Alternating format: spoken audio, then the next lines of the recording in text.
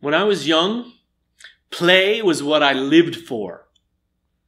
The neighborhood kids and I would go at it right after breakfast till it was too dark to see. We'd get called in for dinner, and for 12 hours, all I could think about was getting back out there. My friends and I were into weird stuff, like making swords and shields and other weapons out of wood, create characters for ourselves and these ridiculously complex plots. Which is funny now that I think about it because all we really wanted to do was hit each other with sticks. But when we played, the time flew by so fast you didn't even notice it. Whole days would just disappear. I want to share a quote with you. What did you do as a child that made the hours pass like minutes? Therein lies the key to your earthly pursuits. So, I'm asking you, what did you do as a child that made the hours pass like minutes? Close your eyes. Seriously, close your eyes. I want you to pick a memory and relive it with me. It's one of those long summer days, and you're playing outside with your friends. I want you to visualize the place. See the sun in the trees, on the grass. Feel the sun on your face, your arms, your neck. Hear the sounds of this place, the shouts of other kids, traffic, whatever's around you. Feel the temperature, the humidity on your skin, the breeze as it hits your body. Smell the smells in the air. Now, see your friends. See the light on their skin. Hear their voices.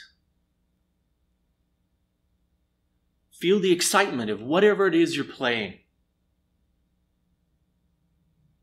Now, stay here for a moment in this time. This time when it was okay to lose yourself in play all day long. In this place, you can be who you want to be. Do what you want to do. Here you can break all the rules with no repercussions. You can live countless lives with no fear of judgment. In play, anything is possible. Okay, open your eyes. For most of us, that's all play is now just a fleeting memory of something valuable that was lost.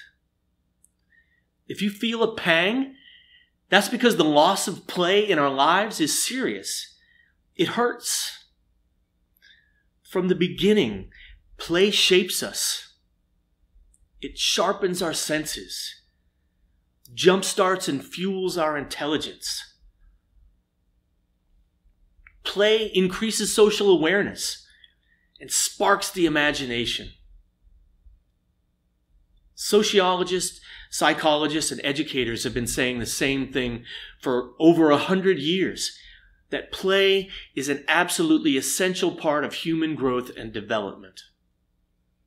Sadly, though, and for whatever reasons, by the time most of us reach our 30s, we've almost totally forgotten how amazing it is to play. And I'm not talking about board games or organized sports. I'm talking about forms of play that offer the freedom to improvise, to be creative, to, to let our imaginations run wild like when we were kids. Even though play is so absolutely crucial to our learning and socialization, educationally, it starts to disappear from our lives soon after primary school. Personally, I put most of the blame for that, at least in my country, on an obsession with standardized testing. The pressure to test well that we put on our kids is crazy. And too often results in a shift from a life of the imagination, exploration, and creativity to one of logic, reason, and rote memorization. And that seems tragic to me. But I know, I know. Fine arts major, he's biased. So that's a heated conversation for another day. What I want to talk about today is doctor training. Nowhere is there a more intense pressure to test well and crush the competition than in the medical field. Everybody knows how cutthroat med school is. By the time they've been admitted to a program, potential doctors have already established themselves as elite scholars, the best of the best at the test. Unfortunately, Success in the competitive arena can come at a price. And that price is an emotional one. The shift from learning that's communal and playful to learning through winner take all competition and one upsmanship can eventually lead to emotional barriers, slowly and subtly erected between themselves and the outside world. My point is this and it's a scary one. Later on, these walls between the self and others can start to negatively impact the doctor patient relationship. I recently read a book that freaked me out. Every Patient Tells a Story by Lisa Sanders. In this book, she speaks about the information exchange between doctor and patient and how most doctors only listen to their patient for an average of 16 seconds before interrupting. Some breaking in after only three seconds. But the detail that really left a mark is that after the patients were interrupted, only 2% of them resumed their story. These statistics are disturbing, but we can't put all the blame on the doctors for their breakdown in communication. The reasons are obviously wide ranging, but here are a few I think are important to think about. First, the idea that the doctor must always be right is something I, I call the omniscience imperative. Let's face it, we all want our doctor to be infallible, if not fully godlike. It's not fair to them. We want them to have all the answers and to be right every time. We need them to be. And that must be such a huge burden to bear. So much that many doctors choose to wall themselves up for protection in an unassailable self certainty. But this aggressive sense of certainty can also be a detriment to reciprocal, collaborative communication with others. Second, a good friend of mine once told me that the first time he sank a scalpel into a cadaver, it became necessary to detach himself emotionally from the reality that this was a human being under his knife. A human being who lived and loved and endured all of life's ups and downs, just like himself. Doctors refer to this as the hidden curriculum. And many describe it as an unspoken aspect of their training that subtly influences them to disengage emotionally from their patients. On the one hand, it makes total sense to close yourself off from the painful emotional effects of so much suffering and dying. But on the other, cutting yourself off from emotional relationships with the people around you can be harmful to your psyche in the long run. And the big one.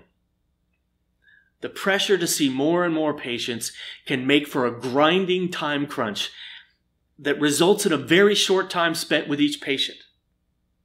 Can you imagine only being given on average one to three minutes to make life or death decisions regarding someone's health? Someone who's depending on you for their life to diagnose them properly? Think about what kind of stress that must cause. And that's the situation many doctors face every day. So, what's the solution to such deeply systemic problems? What big idea could I, as a lifelong theater practitioner, propose to improve both clinical outcomes and doctor resiliency? That's right. Clinical improv. And I know what you're thinking. It's not the same as comedy improv. It's not about the participants zinging each other to make an audience laugh. In fact, it's not about an audience at all. Clinical improv is an educational tool for improving the communication and relationship building skills of students in their first or second year of medical training. Its primary focus is on active listening, close observation, and collaboration. Clinical improv is based on one central concept. The yes and.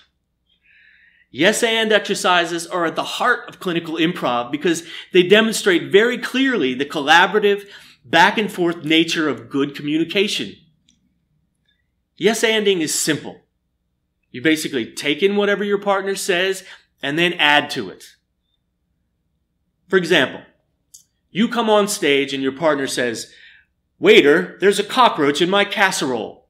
And you quickly reply, My deepest apologies, sir. That was for table number four.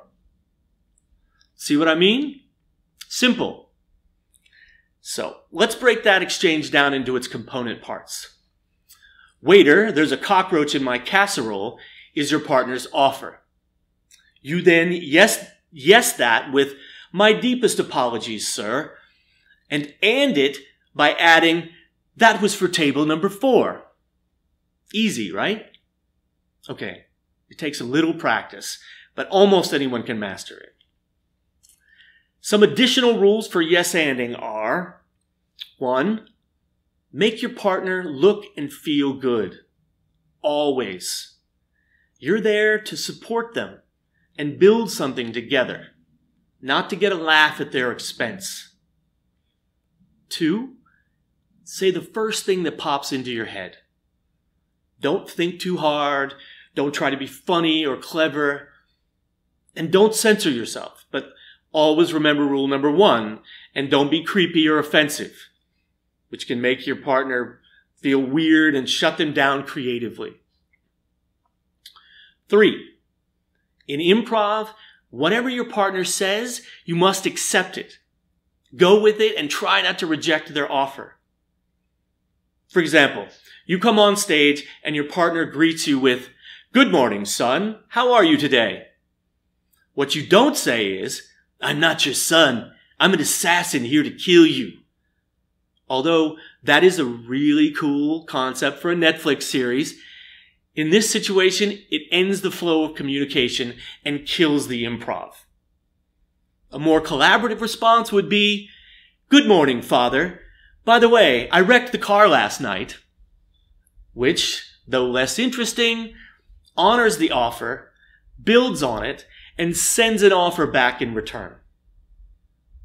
You see how yes anding teaches you to accept what your partner is offering, to give up control of the interaction, and create something new together.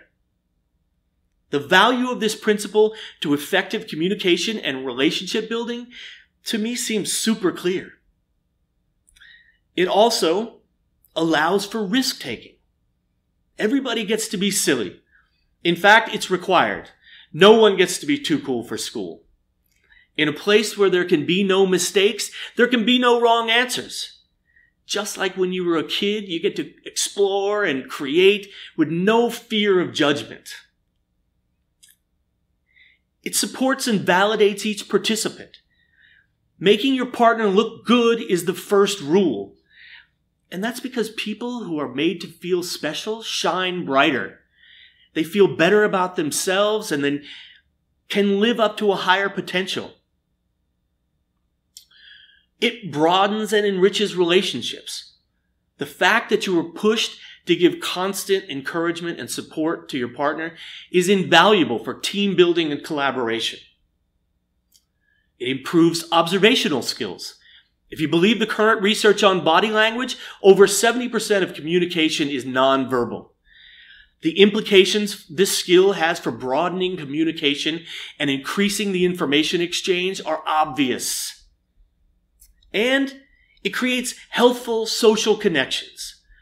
Studies show that having many meaningful personal and social relationships actually prolongs life. It, it reduces depression, increases happiness, and promotes overall physical health. It also bolsters the emotional well-being of the doctor. Being playful insulates doctors against the day-to-day stresses of the job. When you genuinely enjoy what you do, life is more rewarding and productive. And finally, it provides an energized, fun atmosphere. Even though being funny isn't the primary objective of clinical improv, it does tend to generate a good amount of laughter among the participants. And science has shown us that laughter lowers blood pressure, activates the body's immune system, reduces stress, and soothes anxiety. So, to wrap it up, I am convinced that the inclusion of clinical improv in doctor training can be a benefit to everyone involved At the very least, as an experiment, it presents little to no risk, and there's honestly no downside that I can think of. The students don't have to prepare anything. There's no memorization involved. And guess what? There's no test at the end. Just by showing up and participating, they can improve therapeutic outcomes with their patients and make their own lives better. Plus, it's just a damn good time.